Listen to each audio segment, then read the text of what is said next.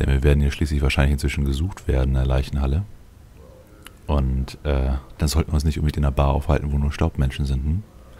Also geredet haben wir bisher mit ihr, mit ihm und mit ihm hier hinten. Das heißt, wir haben noch ein paar Gäste, die wir ansprechen könnten, aber das machen wir beim nächsten Besuch. Erstmal geht's raus hier und dann können wir einen der Marktplätze aufsuchen. Denn wir wurden ja von Ben, dem Sender, gebeten, da jemanden eine Nachricht zu überbringen. Und wir können unser ganzes Gerümpel loswerden für ein paar Klimper. Denn unser Inventar ist schon ziemlich vollgemüllt. Vor allem mit Sachen, die man auch wirklich nur äh, verkaufen kann. Die ganzen Waffen unter anderem. Was gibt's? Schon gut. Nur wo ist hier ein Marktplatz? Können wir die Anschlagsäule vielleicht mal kurz fragen? Aber ich glaube, die hatte nur Sachen, die hier in der Gegend sind. Oh, können Graffitis und Zettel, die haben wir alle schon durchgeguckt. Da stand nirgendwo was von einem Marktplatz. Und ihn direkt fragen können wir anscheinend nicht. Schade. Na gut, dann gehen wir aber mal ein bisschen durch die Gegend. Irgendwann werden wir schon auf den Marktplatz stoßen oder jemanden, der sich zumindest anbietet, uns den Marktplatz zu zeigen. Ein Kupfer und ich sag dir, wo es lang geht. Ein Schlepper. Der laute, dreckige Typ schlendert auf dich zu und verbeugt sich kurz. Grüß dich, Schleifer. Meine Schlepperdienste für nur ein paar Kupfermünze. Nee, nur für eine Kupfermünze. Willst du von mir Tipps haben? Ähm, was ist denn ein Schlepper? Der Mann zieht eine Augenbraue hoch und zuckt an die Schulter. Ein Führer, Schleifer. Ich gebe dir Tipps, damit du dich in diesem Stock zurechtfindest. Na gut, hier hast du ein Kupferstück. Der Mann nimmt die Münze und verbeugt sich. In diesem Stock hier gibt's Tore, die nach Osten, Norden und Südwesten führen. Hier ist auch die Spelunke, wo sich müde Vollblüter ausruhen können. Was sind denn Vollblüter? Hm. Und warum nennt er uns Schleifer? Die haben hier echt eine komische Sprache. Fast so komisch wie Mortis. Wo ist denn die Spelunke? Mitten in diesem Stockschleifer, ein langes, schmales Gebäude. Die Tür zeigt nach Südosten. Guter Platz als Absteige für eine Nacht, wenn du so richtig groggy bist. Wohin kommt man durchs Nordtor? Zum Lumpensammlerplatz. Ah, da ist wahrscheinlich Ferret. Also sollte man da nicht so schnell dahin. Wir wollen ja ein bisschen vorbereitet sein. Aus dem Osttor sind wir gerade gekommen. Was ist mit dem Südwesttor? Zu einem anderen Teil des Stockes Schleifer. Das Büro für Schädlings- und Seuchenbekämpfung ist da und ein großer Markt. Okay, das Büro kennen wir aus einer der Zettel von der Anschlagsäule. Die haben ja das Kopfgeld ausgesetzt auf die Ratten, beziehungsweise deren Schwänze.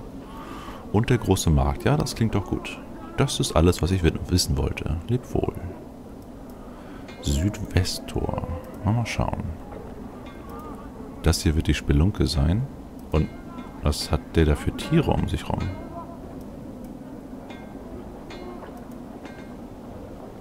Dein erster Eindruck von Ma ist, dass er dringend ein heißes Bad braucht. Und zwar in größtlicher Entfernung von allen Wesen, die irgendeine Art von Geruchssinn besitzen. Du siehst fast, wie der Gestank in gelben Schwaden von seinem Körper aufsteigt. Hat er die alle durch seinen Gestank umgebracht? Er winkt dich aufgeregt herbei, um mit dir zu sprechen. Hm, na gut, nähern wir uns mal. Ein Ausdruck des Erstaunens macht sich auf seinem Gesicht breit, als du näher kommst. Schön, dass du dir die Zeit nimmst. Ich bin Ma und ich würde gerne, dich gerne um einen Gefallen bitten. Ich höre. Es geht um Leben und Tod. Ich muss dieses Kästchen hier abliefern, sonst geht's mir an den Kragen. Leider habe ich mir ganz schön das Bein verstaucht. Würdest du mir aus dieser Patsche helfen und es für mich zustellen? Du hast also dein Bein verstaucht, hm? Hm. Na gut, wir werden es zustellen, aber wir wollen noch eine Belohnung dafür haben. Da können wir hoffentlich gleich nachfragen. Langsam holt Ma ein kleines Kästchen aus seiner zerlumpten Kleidung hervor. Eine Spur des Bedauerns huscht über sein Gesicht, ist aber schon verflogen, als er dich anschaut und dir das Kästchen gibt. Als ihr es kurz gleichzeitig berührt, schimmert es leicht. Als Mars dir ganz anvertraut hat, hörst du einen Seufzer der Erleichterung. Und was nun? Es muss zu Quatra gebracht werden. Er treibt sich wahrscheinlich irgendwo im Südosten der Stadt, des Stocks herum. Ach ja, bevor ich es vergesse, egal was passiert, öffne das Kästchen nie. Und verlasse den Stock nie damit, du bist gewarnt. Und jetzt mach, dass du fortkommst. Ha, von der Belohnung hat er nicht gesagt. Und das ganze Getue ist ganz schön komisch. Aber ja, Südosten des Stocks. Bei einem... Kuatma? Kuatra. Hm, na gut. Wir kommen wieder, wenn wir das Kästchen abgeliefert haben. Bis dann. Hab mein Tagebuch auf den neuesten Stand gebracht. Und er läuft kichernd weg. Skurriler Typ. Gucken wir uns das Kästchen mal an. Dieses Kästchen ist im ganzen Stock eine Legende. Es kursieren unzählige Geschichten darüber und keine davon verheißt Gutes für ihren Besitzer. Gefühle des Schreckens scheinen von dem Kästchen auszugehen. Und es hat einen großen roten Punkt? Hm. Nein, wir drücken da jetzt nicht drauf. Und wenn wir irgendwann diesen Quadra mal finden, dann müssen wir uns überlegen, ob wir ihm das wirklich geben oder ob wir das Kästchen behalten. Ah, schon wieder Schläger. Verdammt, verdammt. Oh, oh, oh. Unser Namenloser kriegt ganz schön eins auf den Deckel. Oh ja. Ja? Morde, fluch doch mal ein bisschen für uns. Fluch der Litanei auf den da. Dreckiger Schlucker. Na, dreckiger Schlucker, das geht aber besser, Morte, oder? Wie? Kannst du es gleich nochmal? Ja. Auf den da. Trollvater. Trollvater. Hm, naja. Schon gut. Also die Prostituierte hätte dir eigentlich ein paar bessere beibringen müssen.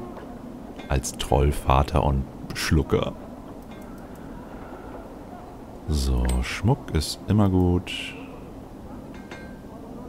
Noch mehr Schmuck und Kupfer. Au.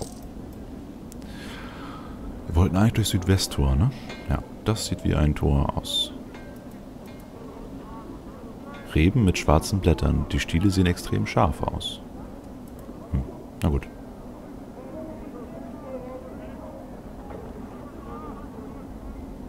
Und hier soll jetzt der Marktplatz sein und das Büro. Na gut, gehen wir erstmal zum Marktplatz. Der dürfte leicht zu finden Ich sein. bin weg. Und das hier ist ein Büro. Das sieht so komisch aus.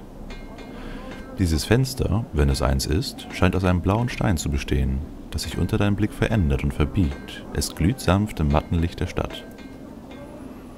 Ah, vielleicht eher irgendwas von Magiern. Oh, aber hier scheint schon der Marktplatz zu sein. Alle schreien, um ihre Weil, äh, Warenpfeil zu bieten.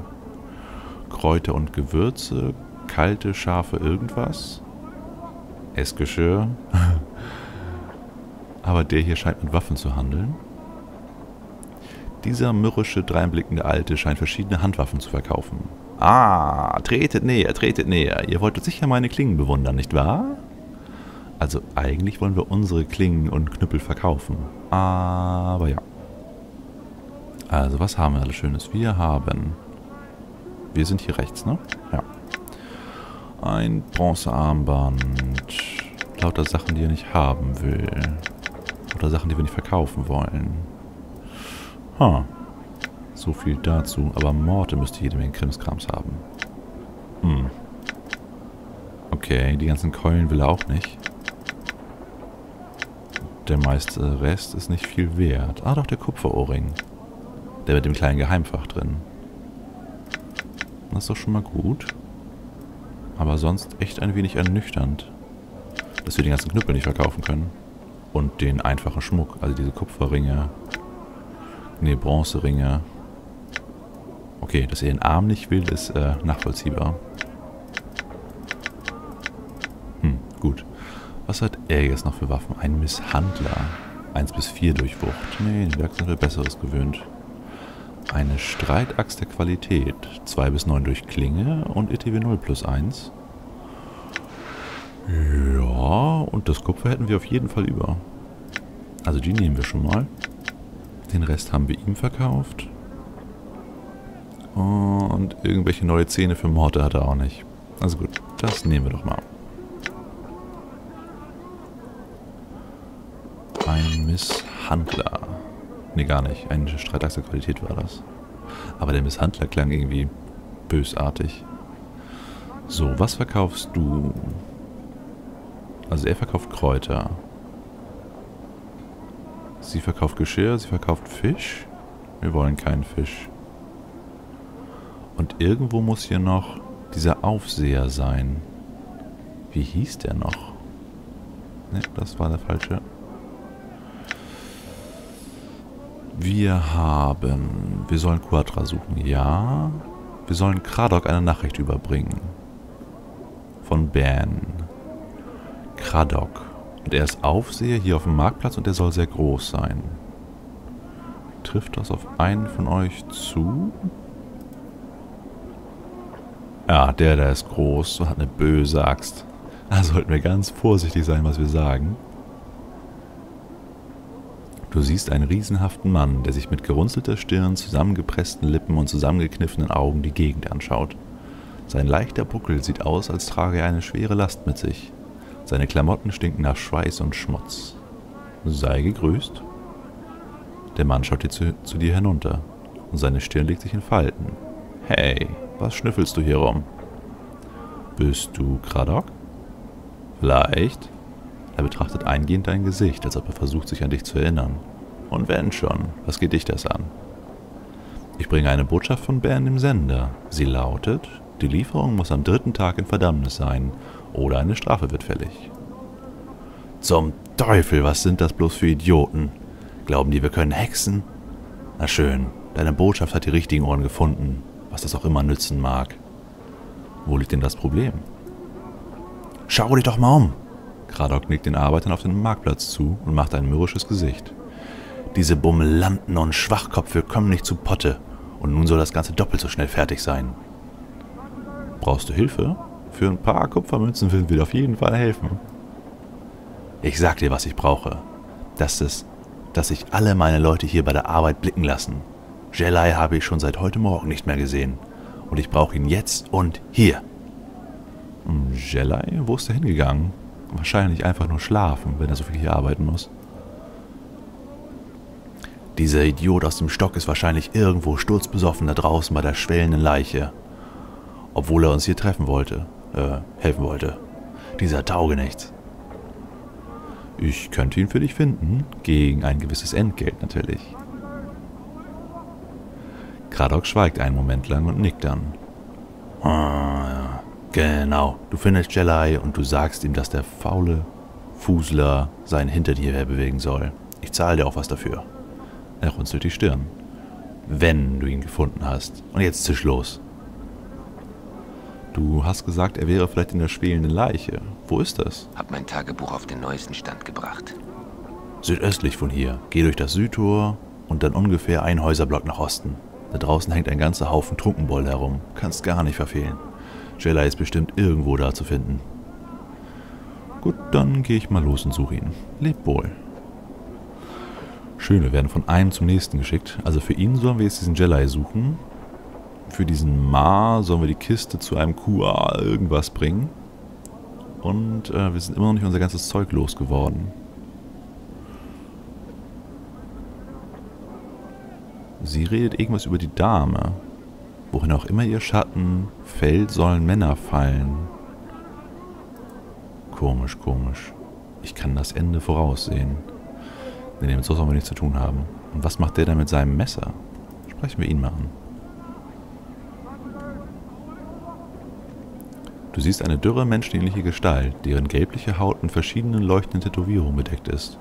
Ihre Augenbrauen sind mit einem schwarzen Kohlestift nachgezogen und ihre Zähne sind zugespitzt. Als sie dich bemerkt, winkt er dich her.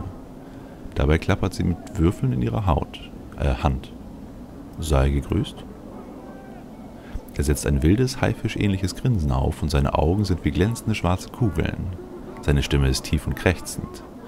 Gau, grüß dich ebenfalls. Du bist doch gekommen, um ein Spiel zu spielen, oder? Äh, nein, leb wohl. Erledigt. Glücksspiel ist immer so eine Sache. So, eine Geschichte für einen Klimper. Nee, wir wollen erstmal unsere Sachen loswerden. Okay, versuchen wir Schon es gut. bei ihr. Sie wollte eigentlich nur Geschirr verkaufen, aber vielleicht nimmt sie auch ein bisschen was von unserem Zeug. Diese attraktive junge Frau lächelt allen Passanten zu und versucht sie anzulocken, indem sie ihre Ware preist. Teller, Krüge, Tassen, Humpen, trinkt aus Kelchen dieser feinsten Herren. Als sie dich sieht, winkt sie dich wie eine alten Bekannten heran. Darf ich sehen, was du hier verkaufst? Ich verkaufe Teller, Tassen, Krügen, Humpen, Messer und dergleichen, mein Herr. Alles von der lesendster Qualität, mein Herr. Sie geht einen Schritt zurück und öffnet den Deckel einer Kiste, die auf dem Wagen hinter ihr steht. Schaut euch meine Waren an. Ihr könnt auch gerne Fragen stellen. Äh, Fragen zu Humpen haben wir jetzt nicht unbedingt. Also gucken wir uns mal die Kiste an und schauen, ob sie was von uns kaufen will. Aber anscheinend will sie wirklich nur ihre Sachen verkaufen. Du schaust in die Kiste. Sie ist voller Teller, Tassen, Krüge, Humpen, Messer und dergleichen. Alles von unterschiedlichster Qualität, wie es scheint. Aber es sind durchaus ein paar nette Sachen dabei. Während du die Ware begutachtest, drängt sie sich an dich heran. Ist was dabei, mein Herr? Hm? Hm? Ihr langes, welliges Haar streift deine Schulter. Es duftet leicht nach Vanille. Wo kommt das denn alles her? Sie grinst vielsagend. Meine Liebhaber sind allesamt Einbrecher, mein Herr. Sie haben diese Waren aus den Edelhäusern Segels geklaut. Als sie dein verdutztes Gesicht sieht, lacht sie. Ach, Unsinn, mein Herr. Mein Vater und meine Brüder sind Kesselflicker. Was ihr seht, sind alles ausgemusterte Waren von Adligen, die sie wieder brauchbar gemacht haben. Äh, ja, genau. Oh, mein Herr, warte doch. Sie legt ihre Hand auf deinen Unterarm. Sie fühlt sich samtweich an. Und ihr seid sicher, dass ihr nichts braucht? Für zu Hause oder zum Verschenken. Kokett beißt sich auf die Lippe und neigt den Kopf leicht zur Seite. Äh, der Teller da ist hübsch. Was, mein Herr? Das hier? Ähm, ähm, nein, der. Warte, das ist lächerlich. Ich brauche keinen Teller. Ich hätte da ein paar Fragen. Ihr trauriger Blick macht ihr fast ein schlechtes Gewissen. Langsam schließt sich die Kiste. Tut mir leid, mein Herr, ich habe keine Zeit für Fragen. Ich muss verkaufen, so viel ich kann, bevor der Tag zu Ende geht. Denn zu Hause gibt es viele hungrige Mäuler zu stopfen. Das kann ich verstehen, lebt wohl. Sie ist sehr geschickt. Und wir wären fast drauf reingefallen. Aber Teller wollen wir wirklich nicht kaufen. Was ist mit dir? Du siehst einen spindeldürren Kaufmann, dessen Kinn von grauen und roten Bartstoppeln geziert wird. Er trägt mehrere Schichten leuchtend bunter Roben, sodass er aussieht wie eine Flagge mit Armen und Beinen. Er zittert leicht, während du ihn ansiehst. Ignorieren wir ihn mal kurz und gucken uns den Markt an? Nee, wir grüßen ihn. Ich Gistkor? Er verbeugt sich und breitet die zitternden Hände aus. Dabei bemerkst du, dass seine Hände und Arme eine verwachsene Masse von schwarzem Narbengewebe sind als ob sie eine starke Verbrennung erlitten hätten. Äh, wobei hast du deine Hände so verletzt? Obskal scheint dich nicht gehört zu haben. Er antwortet nur wieder im gleichen dumpfen Tonfall mit seinem Sermon. Giskal verkauft Stoff, verkauft Stoff, wäscht Stoff, flickt Stoff und er deutet mit seinen zitternden Händen auf seine Kleiderschichten. Trägt Stoff. Ha. Na gut, er ist wohl auch taub. Also gucken wir uns einfach mal an, was er so hat. Er hat Bandagen, Nadel und Faden und Lumpen. Also Laden und, Nadel und Faden und Bandagen können wir auf jeden Fall gebrauchen. Ha. Und er würde uns die Rüstungsteile sogar abkaufen. Aber die behalten wir erstmal noch. Vielleicht kann man die später gebrauchen. Schade, dass wir die Kupferringe nicht, äh, den Bronzering nicht verkaufen können. Und die ganzen Keulen. Aber gut. Erstmal kaufen wir eben die beiden ab. Inventar ist voll. Okay, wir kaufen die beiden doch nicht ab. Wir kaufen nur mehr Bandagen. Ähm. Hm. Er hat wohl sehr, sehr viele Bandagen. Das soll erstmal reichen. Erledigt. Oh, was ist das denn für einer? Erledigt. Mit dem sprechen wir doch mal. Das schwarz geschuppte Reptil ragt ganze zweieinhalb Meter in die Höhe. Seine Größe wird jedoch durch seine dünne, schlangenartige Statur ausgeglichen. Es zieht einen langen Greifschwanz hinter sich her und seine ledernen Flügel sind hinter dem Rücken verhakt. Dem Wesen entströmt ein starker Essiggeruch und nicht wenig Hitze. Es scheint dich nicht zu bemerken. Seid gegrüßt? Huha, Meister. Du willst mit dem Geschöpf sprechen, aber Mord unterbricht dich. Schließ ab! Du solltest nicht mit jedem Scheusal auf der Straße schwafeln. Lass es sein. Ha. Ne, wir sind so neugierig. Ich wollte ihm ein paar Fragen stellen. Nein, lieber nicht. Morte wirft einen Blick auf das Geschöpf, wendet sich wieder zu dir und flüstert dir zu. Die sind leicht reizbar. Lass uns einfach gehen. Hm, na gut, wir sollten vielleicht diesmal auf Morte hören. Wir können die später immer noch ansprechen, wenn wir ein bisschen mehr Erfahrung gesammelt haben und äh, bessere Waffen haben. Ich bin weg. Hm. Ist das da ein Müllfass? Dann könnten wir da unsere Keulen loswerden. Ja, scheint so zu sein. Jede Menge Lumpen drin. Okay, was schmeißen wir denn mal weg? Lumpen brauchen wir nicht. Das Stemmeisen brauchen wir auch nicht. Die Rüstungsteile brauchen wir. Der Kopfstein ist skurril, den will ich behalten. Und die Nachrichten aus der Leichenhalle können wir alle weg. Das Buch von Knochen und Asche behalten wir. Da waren ein paar Nachrichten drin, äh, ein paar Notizen drin über die Beschwörung von Skeletten und dergleichen. Vielleicht können wir das dann irgendwann in die Kommanden verkaufen. Und Morde kann die ganzen so Keulen da noch reinschmeißen. Wenn die komische Dame ihn mal durchlässt. So, Keule weg. Die verrosteten Dolche können auch alle weg. So, schon haben wir wieder Platz. Na, speichern wir doch mal. LP 009.